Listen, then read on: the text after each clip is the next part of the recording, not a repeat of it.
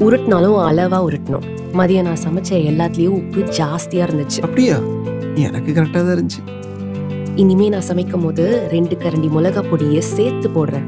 அப்போ தெரியும். ரொம்ப காரமா இருந்தா அப்புறம் உன் வாய் தான் வலிக்கும். பாத்துக்கோ. எதுக்கு ஏன் வாய் வலிக்குது? ஆமா.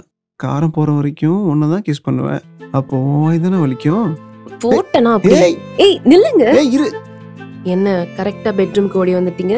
நான் பெட்ரூம்குள்ள ஓடி வரணும் தானே தோத்திட்டு வந்தேன். அப்படிலாம் ஒண்ணும் இல்லையே. அப்போ நான் போறேன். ஏய் இரு.